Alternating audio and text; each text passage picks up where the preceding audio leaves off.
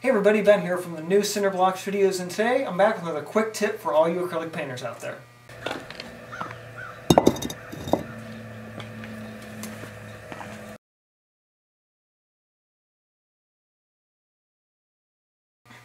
So I'm actually still in the middle of my week one move-in, as you can see with the sheer chaos that is here in the studio.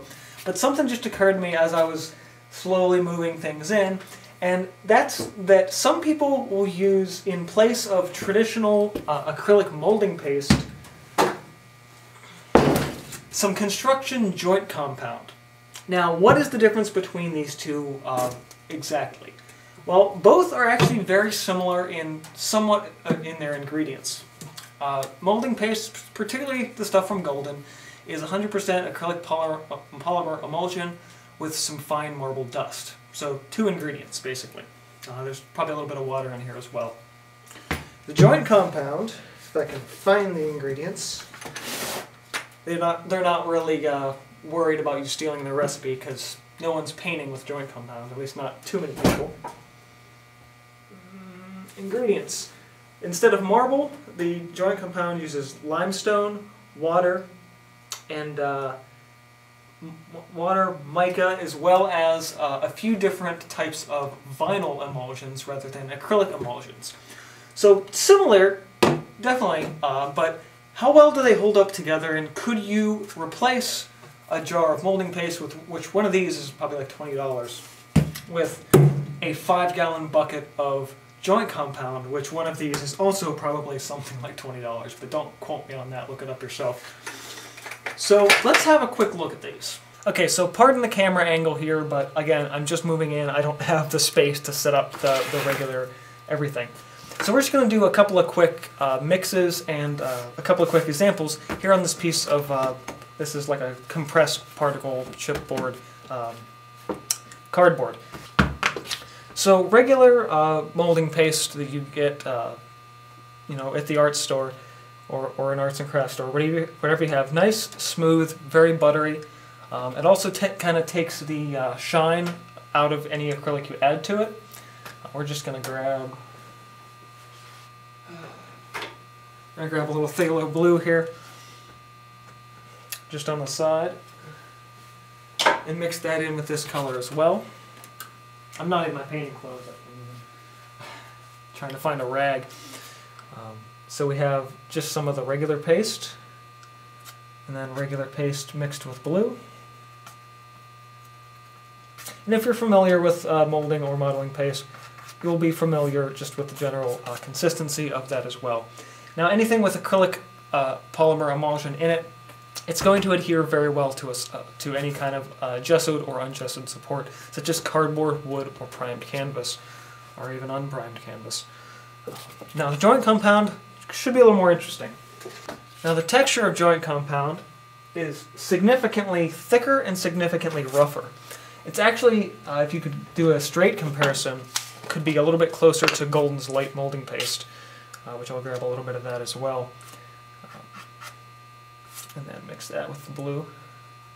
I use the light molding paste uh, uh quite often when I am uh, just doing my regular rocks and mountains and things like that uh, in my regular painting, but the consistency of the joint compound is even thicker than that. It's a little bit heavier, and it's also uh, not quite as bright white, it's a little more of a gray.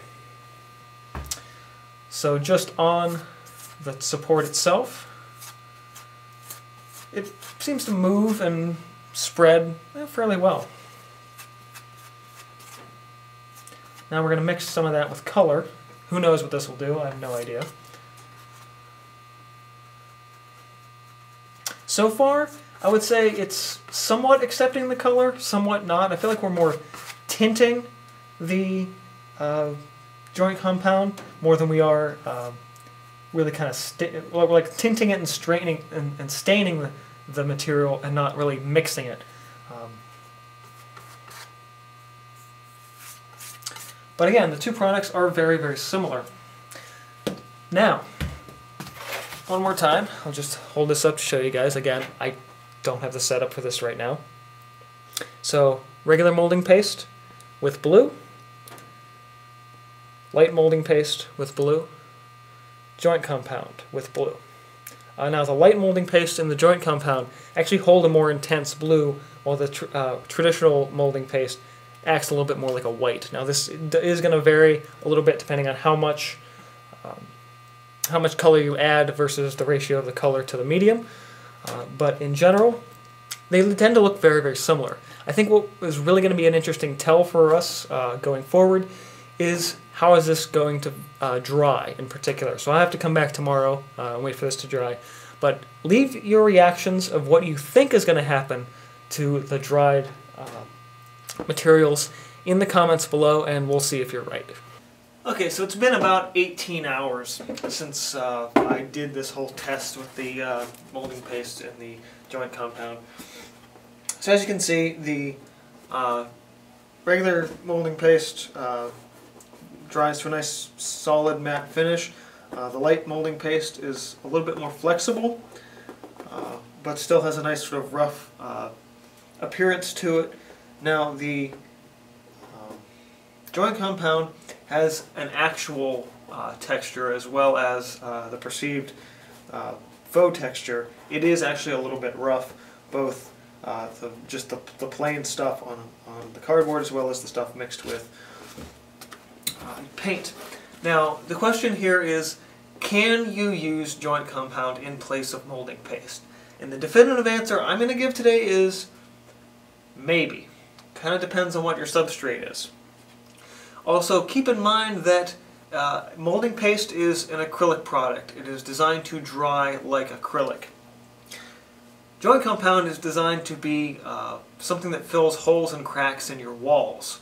Uh, so in and of itself, it doesn't dry to a super firm finish. Regular molding paste, you can scrape on it. Light molding paste, maybe doesn't hold quite as well, but it's going to come off as one piece. You can kind of carve away at it a little bit.